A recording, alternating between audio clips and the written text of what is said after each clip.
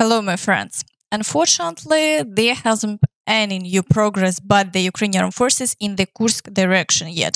Yesterday, in fact, a couple of positions were lost on this front, making the situation here quite difficult as well. In the Kharkiv direction, Shalin continues around Kharkiv and in the border villages. The fight fighting for Vovchansk is ongoing too, but despite daily battles, there have been no changes along the front line. Today, we also need to summarize the week as uh, there have been significant changes on the front line. Reports indicate that over the past week, Russian forces captured an additional 73 and a half square kilometers, while the Ukrainian forces managed to secure almost 8 square kilometers. Unfortunately, in terms of territory gained, the Russians are still seeing more success each week. Uh, meanwhile, in the Belgorod region, uh, new strikes have been reported on fuel storage tanks, resulting in a massive fire. This indicates that operations targeting Russian military facilities are still ongoing. In the Kupiansk direction, Russian forces continue to throw reserves into attempts to advance closer to Kupiansk. They are carrying out assaults near Sinkivka, Petropavlivka, and Glushkivka, while also maintaining constant shelling. Despite this, the front line hasn't changed in the past day. In the Svatove area, intense fighting continues uh, near Lozova, uh, where the Russians are trying to build on their successes, launching over 10 assaults per day. Uh, battles are also ongoing near Andriivka, and Shalin continues along the entire front line. Further south, fighting for Chernyshina and Makiivka persists, but no new changes have been recorded in the past 24 hours. In the Kreminna direction, battles ongoing for Nevske, Torske, and near the Serebryanka forestry. However, the Ukrainian forces continue to successfully repel all attacks with no changes to the front line in the Siversk direction. Russian forces are attempting to build on their progress near Vyimka, uh, where they have made notable advances and are pushing toward the outskirts of Siversk. Ukrainian forces are doing everything they can to hold the defense. Additionally, Russian attacks on Verkhnyo-Kamensk and Spirne continue, but without success. Over the past 24 hours, the front line here also remains unchanged. In the Chasiv Yar direction, fighting continues on the outskirts of the city. Similarly, battles for Klishchiivka and Andriivka are ongoing, but the Russians haven't achieved any new successes in the past 24 hours in the Toretsk direction. Ukrainian forces have erased all of the Russians' gains near New York, and now the Russians are trying to reclaim the lost positions, keeping their fighting intense. Battles are also ongoing for Sukha Balka, Nelipivka, and the outskirts of Toretsk. However, Shalin continues at maximum intensity, but the front line remains unchanged for now.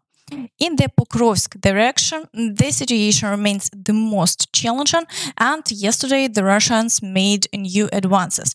The worst uh, situation is near Zhelanne Pershe where the Russians continue their assaults. Their progress near Krasnogorivka uh, is further squeezing Ukrainian forces. Currently, the distance between the extreme front lines is about six kilometers, with only six uh, kilometers and um, four kilometers and 600 meters separating the front line from a water obstacle. The battle here continues fiercely, uh, with Ukrainian forces standing firm, aiming to inflict maximum losses on the advancing Russian troops. Additionally, fighting persists in the areas of Ukrainsk, Selidove, uh, Grodivka, Mirolubivka, and Vozdvizhenka.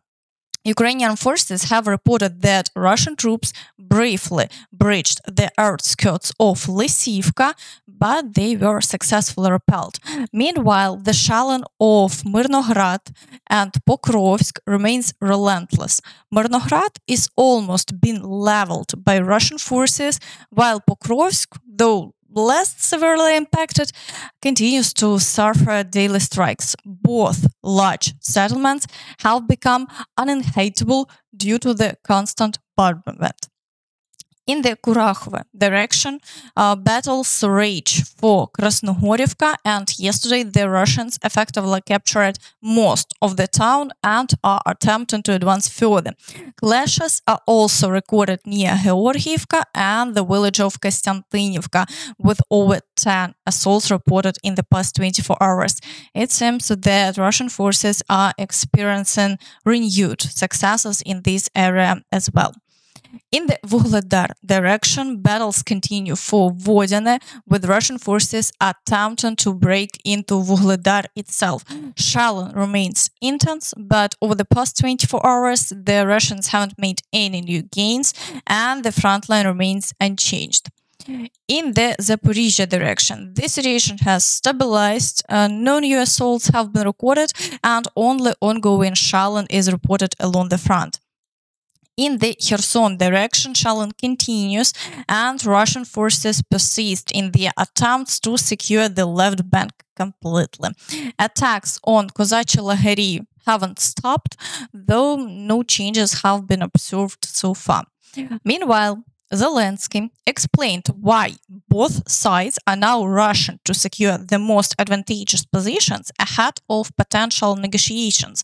He mentioned that a peace plan will be presented to US leaders in the fall. Незмінно працюємо з представниками обох партій в Сполучених Штатах Америки. На полях форуму в Італії е, провів зустріч із делегацією Конгресу США. Говорили, зокрема, про план перемоги для України, про певні його деталі. А повністю ми представимо всі кроки президенту Сполучених Штатів Байдену і обом кандидатам у президенти Трампу і Гарріс. Головне для нас зараз на початку осені максимально зміцнити позиції України. There is a faint hope that the situation might change after the elections, though it remains just that a hope. On the other hand, a military expert Glenn Grant has stated that Russia is preparing new reserves for another offensive operation in Kiev. Russia still has reserves for another assault and they are waiting for the right moment, said Grant. He also mentioned that Russia is preparing for new attacks, particularly on Kyiv, by gathering reserves and armored vehicles. The goal is to advance quickly toward the capital without halting the movement of their forces.